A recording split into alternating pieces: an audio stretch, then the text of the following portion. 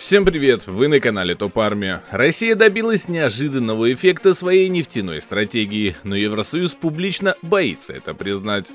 Как отмечают авторы издания Nake Asia, с начала санкций международные рынки нефти сотрясли масштабные изменения.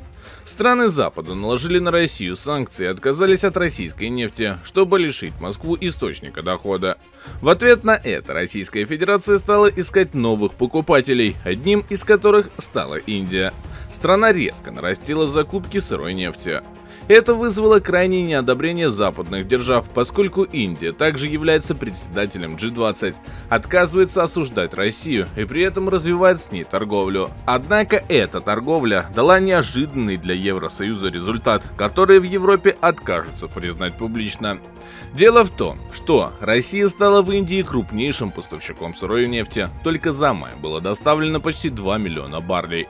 Конечно, это бьет по тому нефтяному, нефтяному эмбарго, которые приняли в Евросоюзе, поскольку Россия продолжает зарабатывать деньги.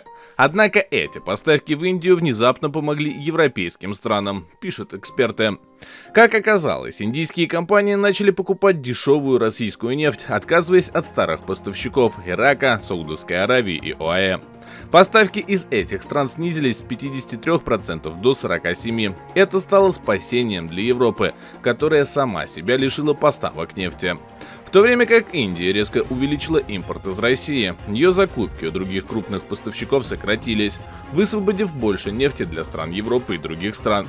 Фактически в 2022 году, в финансовом году, импорт Индии из 6 из 10 крупнейших поставщиков сократился в том числе на 49% из Нигерии, на 24% из США, на 18% из Кувейта и на 10% из Ирака.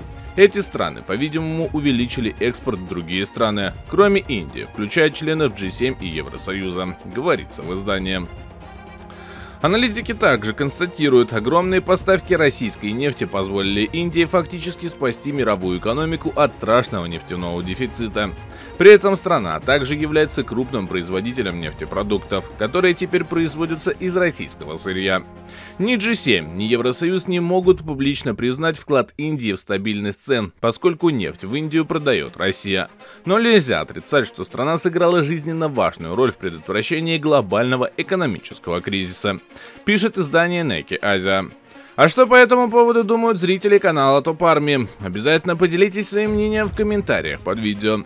Также не забудьте поставить свой царский лайк этому видео. Ну а я с вами прощаюсь, всем пока. Кстати, не забывайте подписываться на наши телеграм-каналы. Ну а я с вами прощаюсь, всем пока.